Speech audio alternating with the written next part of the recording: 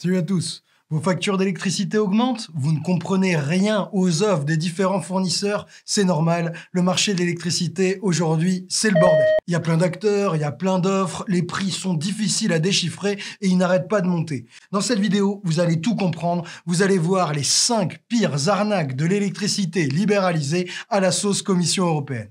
1, 2, 3. Pendant longtemps, en France, l'électricité était produite, transportée et vendue par un acteur en monopole public, l'électricité de France ou EDF. L'électricité française était l'une des moins chères d'Europe et en plus, les prix étaient assez stables parce que basés sur les coûts réels de production de notre parc de centrales nucléaires et de barrages. L'Union européenne a ouvert à la concurrence ce marché de l'électricité au début des années 2000 d'abord pour les entreprises, puis en 2007 pour nous autres, les particuliers. EDF allait donc avoir des concurrents privés. L'idée, c'était que grâce à la magie de la saine concurrence, nos factures allaient baisser. Ça, c'était la théorie. Bon. 15 ans plus tard, les prix n'ont pas baissé, ils ont augmenté, ils ont même explosé, plus 47% entre 2007 et 2020. Pourtant, dans le même temps, EDF s'est retrouvé avec une quarantaine d'entreprises concurrentes, les Total Energy, les Équateur, les Enercop, etc. Et ces concurrents n'ont pas chômé, ils ont conquis un tiers du marché des particuliers. Alors qu'est-ce qui s'est passé? Pourquoi la concurrence n'a pas fait baisser les prix? Qu'est-ce qui est responsable de cette augmentation de nos factures d'électricité? Et qu'est-ce qu'il faudrait changer? Tout ça, on va le comprendre aujourd'hui. Moi, je vous préviens, il y a des trucs tellement abusés dans ce marché privatisé de l'électricité à la sauce Commission européenne que ça va en devenir marrant. Dernier truc à vous dire avant d'attaquer l'arnaque numéro 1, on a réalisé cette vidéo en partenariat avec le comité social et économique central d'EDF. Comme le sujet est hyper important, on a dit oui, mais comme d'habitude dans ces cas-là, on est 100% indépendant, on a fait nos propres recherches et on dit exactement ce qu'on veut. Allez, c'est parti pour les 5 pires arnaques du marché libéralisé de l'électricité.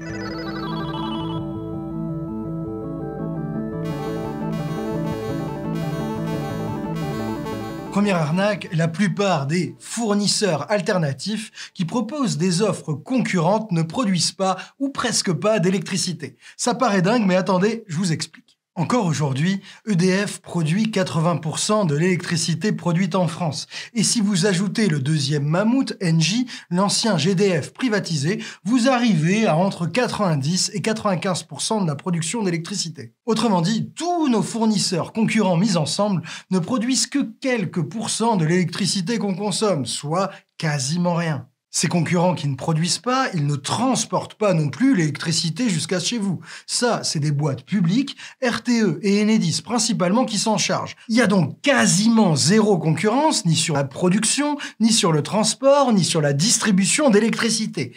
Qu'est-ce qu'ils font alors ces concurrents? Eh ben en gros, leur taf, c'est un taf de trader ils achètent de l'électricité sur le marché de gros, ils le mettent dans leur portefeuille et après, ils ont le droit de vous la revendre. Ouais, ouais, hein. en gros, le boulot de la plupart des fournisseurs d'électricité, c'est le même qu'à la bourse. Ils sont devant un ordinateur, ils achètent, ils revendent et ils se font une marge. Alors, il y a quand même quelques fournisseurs, comme Enercop par exemple, qui produisent de l'électricité. Mais la plupart, et même la grosse plupart des fournisseurs, ne produisent pas l'électricité qu'ils vous vendent. La concurrence dans l'électricité, c'est donc largement une fiction. Et là, vous vous dites peut-être, mais si les fournisseurs concurrents, ils rachètent de l'électricité à EDF pour après nous la revendre, comment ils font pour être moins cher qu'EDF, gagner des parts de marché et se faire une marge? Normalement, cette concurrence fictive, elle devrait pas tenir une seconde. Excellente question et bienvenue dans l'arnaque numéro 2.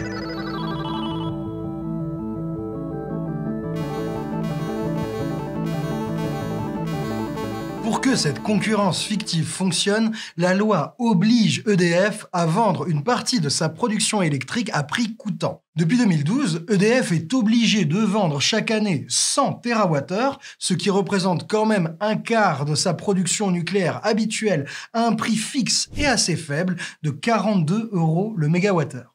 Sans ce dispositif, qui s'appelle l'AREN pour accès régulé à l'électricité nucléaire historique. Oui, je sais, hein, ils sont super forts en acronyme. Sans ce dispositif, la concurrence de nos fournisseurs traders, elle ne pourrait tout simplement pas exister. EDF, qui produit quasiment toute l'électricité, serait toujours moins cher qu'eux. Et attendez, EDF e qui est obligé de vendre un quart de la production de ses centrales nucléaires à 42 euros, aujourd'hui, ils rentrent même plus dans leurs frais. Le tarif de la reine, il n'a pas bougé depuis 2012, alors qu'aujourd'hui, avec l'inflation et les investissements dans les vieilles centrales, le coût de l'électricité nucléaire, c'est plutôt 48, voire même 53 euros le mégawattheure si on en croit EDF. L'arnaque va même plus loin. EDF, ils sont obligés de vendre un quart de leur production à un coût très bas, mais les fournisseurs alternatifs, ils sont même pas obligés d'acheter. Ils achètent quand ils veulent. Et quand est-ce qu'un trader veut acheter? Réponse facile, quand c'est moins cher. Les fournisseurs traders, ils n'achètent de l'électricité au prix à Rennes à EDF que et uniquement que quand les prix du marché de gros sont supérieurs à 42 euros. Quand les prix sont inférieurs, ils achètent de l'électricité, mais pas au prix de la Rennes. Ils l'achètent alors au prix du marché. Ils sont malins, ces traders. Vous le voyez là, le double effet qui se coule du marché libre et concurrentiel. Non seulement EDF est obligé de perdre de l'argent en vendant de l'électricité à 42 euros alors que ça lui coûte plus, mais en prime, elle est obligée de le faire pile poil quand ça arrange les traders, c'est-à-dire au moment où EDF, elle pourrait vendre son électricité sur les marchés beaucoup plus cher. On est donc très très loin de la concurrence libre et non faussée et du marché libre qui mettrait fin à un monopole public inefficace. Là, ce qu'on vient de faire, c'est de créer artificiellement de toutes pièces un mécanisme qui oblige l'ancien monopole public à laisser de la place à ses dépens à des fournisseurs traders parasites. Et attendez, partez pas, ça va encore plus loin dans l'arnaque et dans l'absurde.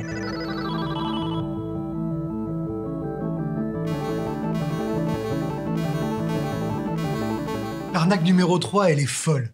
EDF, ils fixent pas tous leurs tarifs comme ils veulent. Il y a ce qu'on appelle le tarif réglementé de vente d'électricité ou le tarif bleu qui est fixé par la loi. Et là, accrochez-vous parce que c'est ouf. Comment est-ce qu'on fixe ce tarif bleu, ce tarif réglementé de l'électricité? La logique voudrait qu'on parte des coûts d'EDF. On regarde combien ça coûte à EDF de produire son électricité, on lui laisse une petite marge et hop, ça fait le tarif. C'est ce qui se passait jusqu'en 2015, mais ça, c'était avant. Depuis, on a basé le calcul du tarif sur les coûts des concurrents. On regarde combien ça coûte aux fournisseurs traders d'acheter toute l'électricité qu'ils nous revendent sur les marchés. On ajoute par-dessus leurs coûts de commercialisation pour bien nous démarcher par téléphone.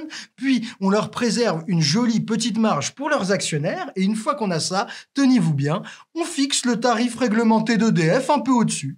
Ouais, ouais, je vous jure, c'est confirmé par le Conseil d'État, c'est même écrit noir sur blanc. On fixe le tarif réglementé de l'électricité pour qu'un opérateur concurrent d'électricité de France puisse proposer à ses clients des offres à prix égal ou inférieur au tarif réglementé. C'est dingo dingue La loi nous dit que le tarif réglementé de l'électricité doit forcément être assez haut pour que des opérateurs concurrents, c'est-à-dire des fournisseurs traders qui ne produisent quasiment rien, soient forcément moins chers que DF. Waouh, bravo la concurrence, chapeau. Mais attendez, hein, gaver des fournisseurs largement parasites avec des mécanismes hors sol, c'est loin d'être le seul problème de notre électricité libéralisée.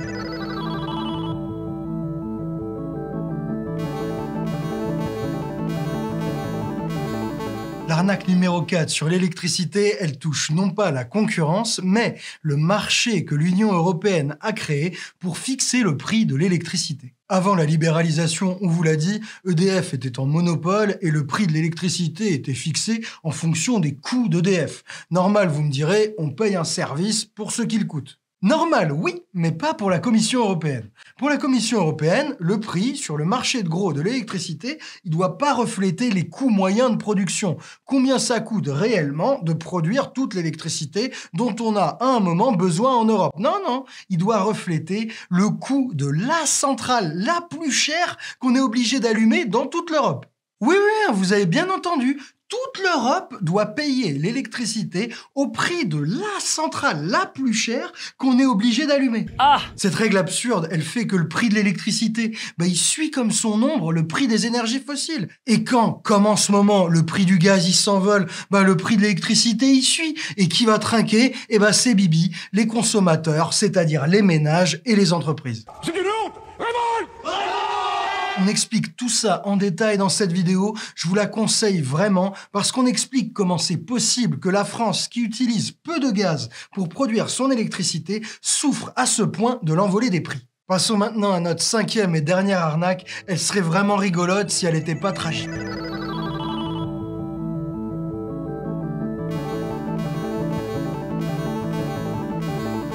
Pense que vous l'avez toutes et tous remarqué, la priorité mondiale en ce moment, c'est la transition énergétique. Construire au maximum des éoliennes, des panneaux solaires et même des centrales nucléaires pour pouvoir se passer de tous les sens et de tout le gaz qu'on consomme et qui bousille le climat. Là, accrochez-vous.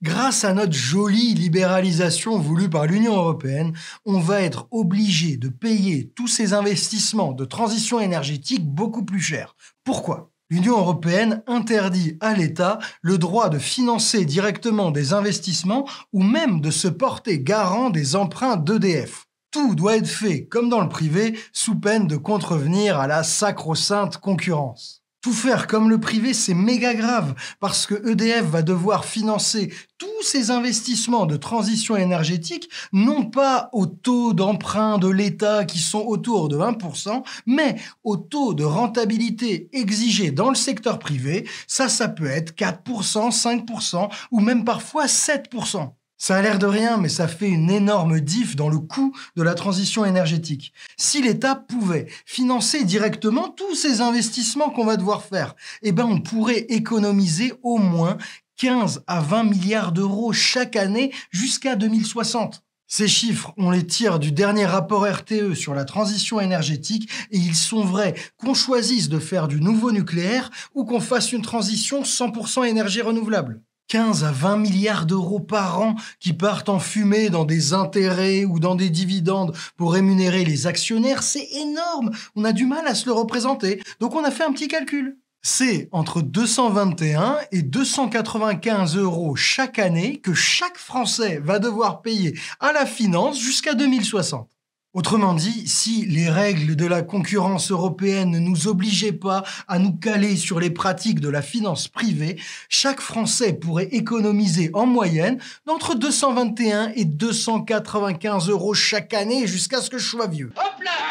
Bref, vous voyez l'ampleur de la carotte. Les règles actuelles de l'Europe sur l'électricité handicapent le climat et vont coûter au total, rien que pour la France, des centaines de milliards d'euros. Heureusement que le climat, c'est notre priorité. hein.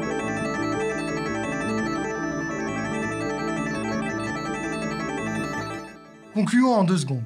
La libéralisation du marché de l'électricité, ça devait faire baisser les prix et stimuler l'innovation. En réalité, ça a été une catastrophe. Les prix ont pris 50% en 15 ans et on a sapé les conditions d'investissement dans la transition énergétique. Le comité social et économique central d'EDF, avec qui on fait cette vidéo, lance une campagne pour réclamer la renationalisation d'EDF et la sortie du marché européen de. On vous met un lien vers leur site et leur pétition. N'hésitez pas à la signer, ça vous prendra deux secondes si vous voulez donner de la visibilité à cette initiative. Et l'autre manière de faire votre part pour en finir avec ce marché biaisé et ces arnaques qui nous laissent tous, bah c'est comme d'habitude de partager au maximum cette vidéo autour de vous. Et si ça vous a plu, je vous invite à vous abonner à notre chaîne et à cliquer sur la petite cloche pour ne rien rater aux prochaines vidéos, au menu des vidéos pour décrypter les enjeux de ces législatives. Et si vous voulez nous soutenir et aller plus loin, je vous invite à faire un tour sur notre site Osons comprendre, électricité renouvelable, la question du nucléaire, l'énergie, l'inflation, j'en passe et des meilleurs. On explique tout ça avec les meilleures sources, le maximum de clarté et même un petit peu d'humour. Bon, moi je vous dis à très vite, je vous fais plein de bisous, prenez soin de vous les amis, ciao